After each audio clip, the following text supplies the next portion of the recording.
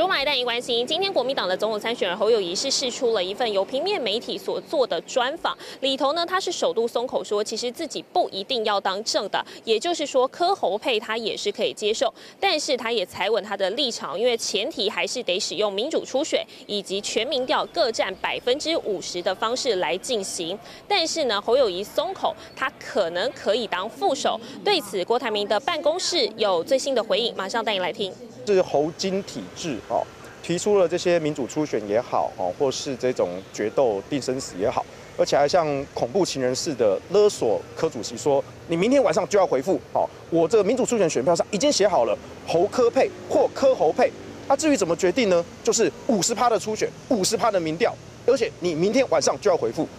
我觉得这非常有恐怖情人的味道哦，就好像今天突然有个人来跟你说，我们一定要结婚。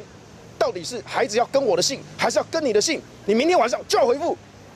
我就觉得哇，这人好恐怖哦！而且他还语带威胁的说：“你怎么可以跟别的男人眉来眼去？你怎么可以跳过我去找朱主席？”好，可以听到郭台铭办公室这边是批评说侯办根本就像是恐怖情人哦，因为侯友谊他其实释出这个讯息，他还要求说柯文哲阵营必须要在明天就给回复，原因是因为柯文哲他二十六号就预计要这个举行政策记者会，可能会谈到说联合政府相关的事情，那柯文哲也预计下午两点要来出面说明对于侯友谊这个最新的回应。以上就我们在现场掌握到的最新状况。